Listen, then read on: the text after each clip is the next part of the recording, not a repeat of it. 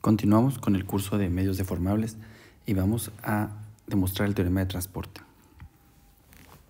Teníamos que de la ecuación de Newton llegábamos a la ecuación de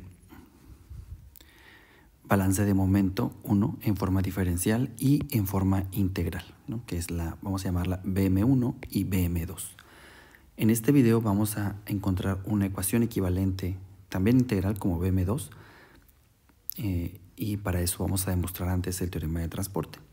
Entonces, considere D una región donde se mueve el fluido y sea X alguna posición en esta región. ¿no? Si es en dos dimensiones, pues es una región bidimensional o una región en el espacio tridimensional.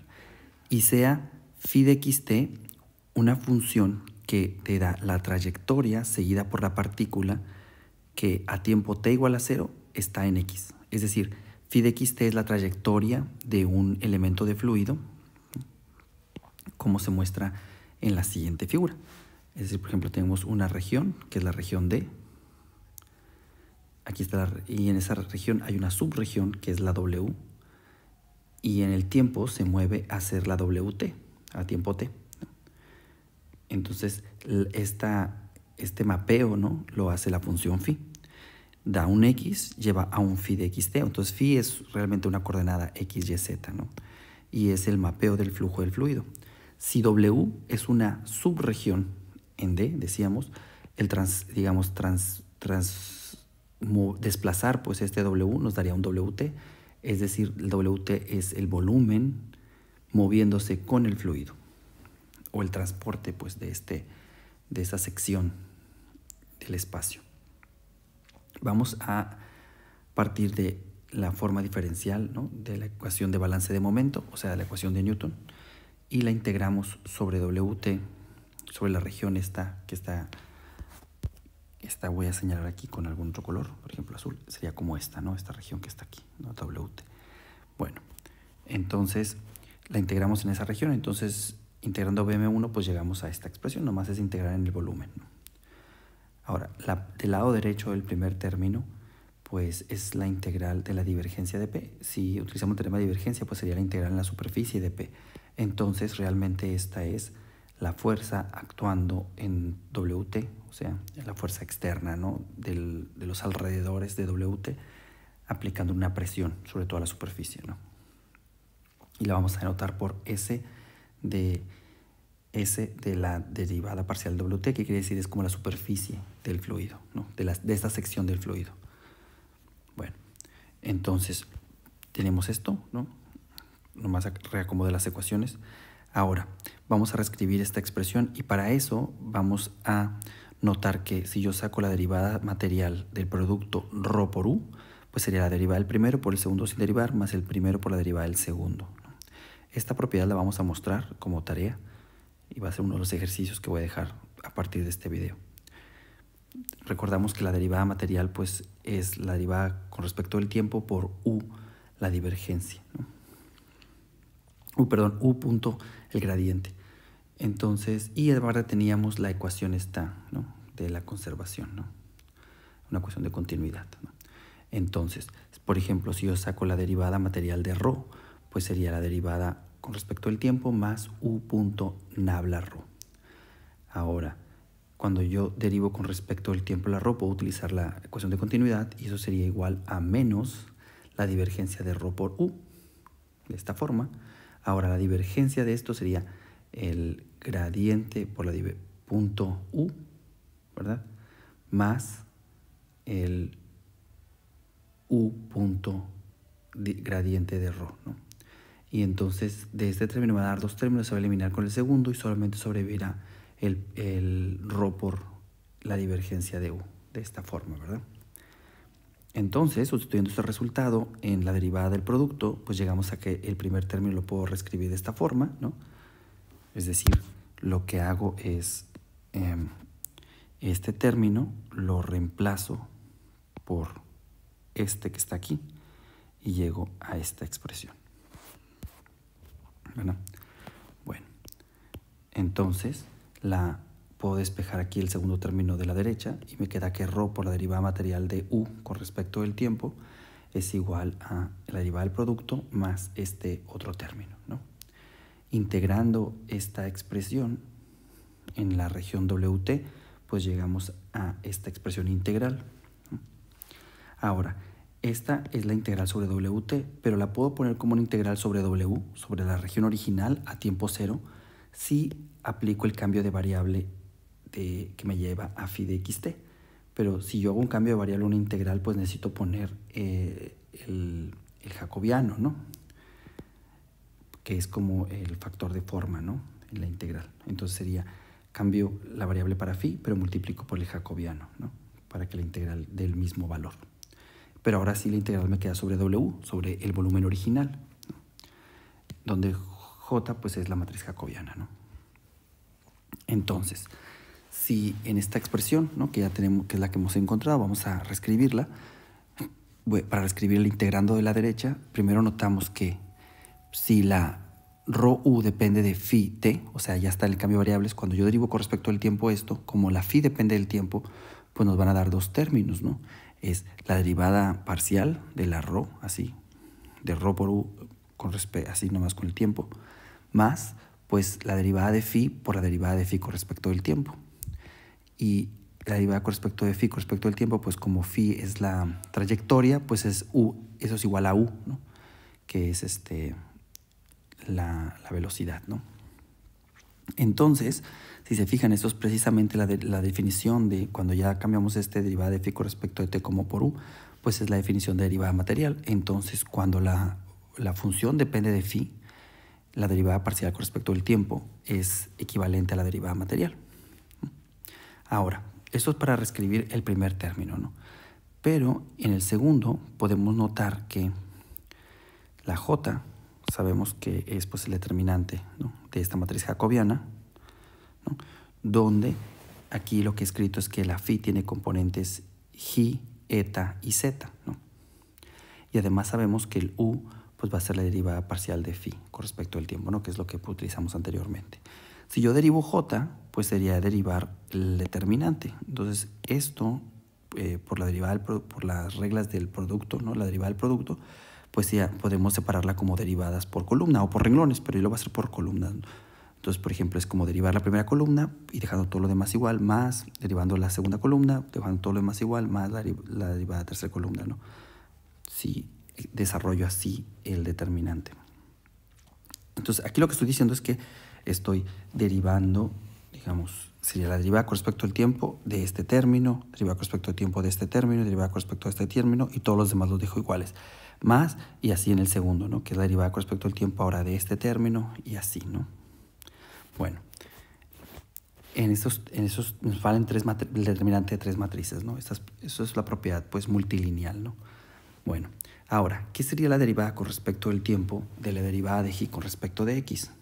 Que es el primer término, digamos. Del, pues esto, las derivadas puedo intercambiar sería como la derivada de x de la derivada de y con respecto del tiempo. Pero la derivada de y con respecto del tiempo, pues es la y, acordémonos que es la primera componente de phi. ¿no? Entonces es como, y la derivada de phi con respecto al tiempo, pues es u. Entonces es la primera componente de u porque u la puedo escribir como uw, me quedaría la derivada con respecto de x de la primera componente de u.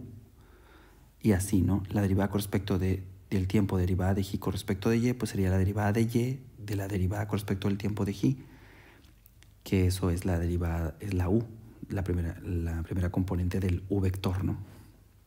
Y así vamos a hacer con los demás términos y, por ejemplo, la derivada de, del, del tiempo de la tercera componente de phi, con respecto de z, pues no es más que la derivada con respecto de z de la w, que es la tercera componente de u.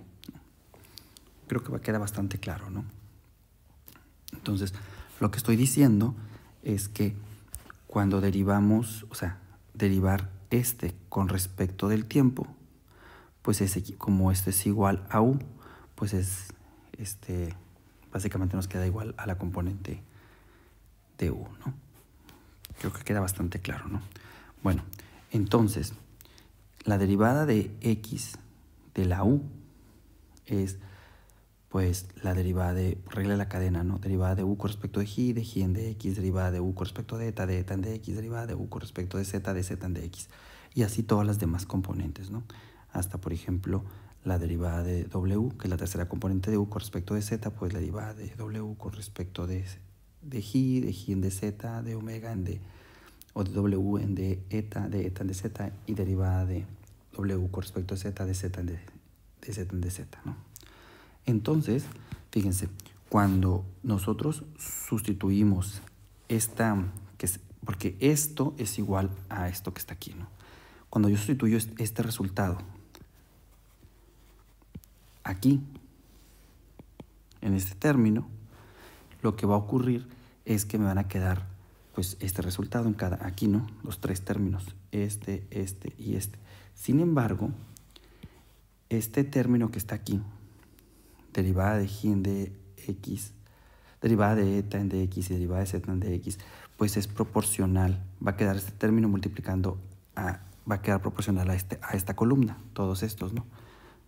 Aquí va a quedar la suma de una columna, digamos, aquí va a haber tres términos, estos tres, pero el segundo y el tercero van a ser proporcional a la segunda columna y a la tercera columna. Y por propiedades determinante, cuando hay una columna repetida, da cero. Entonces estos no contribuyen al determinante, estos dos. Y nomás nos sobrevivirá, en este, en este nomás nos sobrevivirá este término. Ahora, este término, esto es derivada de u con respecto a la primera componente g. Y este de aquí es el que ya teníamos, derivada de g en dx. Entonces va a quedar nada más multiplicando este término en toda la columna, derivada de u en dg. Y así con los demás, ¿no? Por ejemplo, en la derivada de, aquí en el siguiente renglón, por ejemplo, derivada de w con respecto de z, que sería el término que aparecería, por ejemplo, en el último, ¿no? En la última columna, pues nos va a dar estos tres términos y nos va, nos va a quedar nada más, este, otra vez se van a eliminar estos porque son proporcionales y nos sobreviviría el primero, ¿no? que es derivada de la tercera componente ¿no? con respecto de z. Por tanto, cuando llegamos a que nos quedaría que la derivada con respecto del tiempo de la j, que es todos estos términos, al derivar con respecto al tiempo, nomás nos queda multiplicando pues la derivada de la primera componente de u con respecto de la derivada de u con respecto a la primera componente, la primera componente de u con respecto a la, a la primera componente, que sería como la x, ¿no? Entonces nos queda la divergencia de u por j, nada más, al final, ¿no? O sea, aquí es como, nos quedan tres componentes, ¿no? Es la derivada de u con respecto a la primera entrada, ¿no? Por j más la derivada de u con respecto a la segunda entrada por j más la derivada de u con respecto, pero u vector, ¿no? Con respecto a, bueno, aquí sería u, v y aquí w con respecto de z, ¿no? Por j. Pues eso lo puede poner como la divergencia. Por tanto, hemos llegado a que cuando tengo la derivada temporal de j es igual a la divergencia de u con j. Esto lo hice para identificar que acá arriba, ¿no? Tengo la divergencia de u por j, realmente esto es como la derivada temporal de j. Por tanto, el segundo término lo puedo escribir como ρ por u por la derivada con respecto de j, tiempo con respecto de j es igual a ρ por u por la divergencia de u por j. Con esos resultados podemos reescribir el integrando en la integral original de la siguiente forma. Entonces nos quedaría la integral sobre la región wt es igual a este que ya vimos, decíamos el primer término, derivada material de ρ por u, pues es igual a la derivada temporal normal por j más ρ por u por la derivada de corte temporal de j. Entonces esto parece como la derivada de un producto, entonces lo puedo poner pues precisamente como la derivada del producto, así. Y ya que está la derivada y como la integral corre sobre el espacio, podemos intercambiarlas y esto es como la derivada temporal de la integral de wt de ρ por u de b. Entonces, ¿qué es lo que hemos mostrado? Pues que, el, que esto, que este es igual a este. Y esto es precisamente el teorema de transporte, ¿no? que la derivada temporal de la integral wt de ρ por u de b es igual a ρ por la derivada material de U en dt. Eso es el teorema del transporte. En realidad esta se puede generalizar para cualesquiera función f, así, e incluso, y bueno, entonces, y eso sería, se conoce más bien como, la deriva, como el teorema de transporte, ¿no? Si aplicamos este resultado a, a lo que teníamos antes, es decir, la expresión que, que habíamos derivado de integrar la forma diferencial del balance de momento, esta, en el lado izquierdo lo podemos reescribir como la derivada con respecto del tiempo de esta integral, ¿no? Aplicando el teorema de transporte, y lo de la derecha queda igual, ¿no? habíamos definido que la integral sobre el nabla, nabla P es igual a la fuerza aplicada en las fronteras más ρ por la g, ¿no? Entonces, este, esta es la ecuación de balance de momento, la balance de momento 3, ¿no? Que es la que queríamos demostrar. Déjenme ponerle aquí. Es balance de momento 3. Antes de terminar el video, este, voy a reescribir esta ecuación del, teorema de transporte y generalizarla para cuando la ρ es 1, ¿no? Y se puede generalizar de la siguiente forma, ¿no? Que la derivada con respecto al tiempo de alguna función f en, en, WT es igual pues a la derivada material, ¿no? Que es esta que está aquí. Y con eso terminamos el video. Pero ah, entonces nada más voy a hacer un recordatorio, que es lo que, que vimos, ¿no? Demostramos algunas igualdades importantes, ¿no? Una de ellas fue esta, ¿no? que es sobre J, que vamos a utilizar en el siguiente video, esta que está aquí, ¿no? que nos va a servir para definir los flujos incompresibles, y además demostramos pues, el teorema de transporte, ¿no? que es este que está acá. Y bueno, con eso terminamos el video. Eh, está es bastante, digamos, talacha, ¿no? Hacer varias expresiones, pero van a ser muy útiles en el desarrollo de la teoría.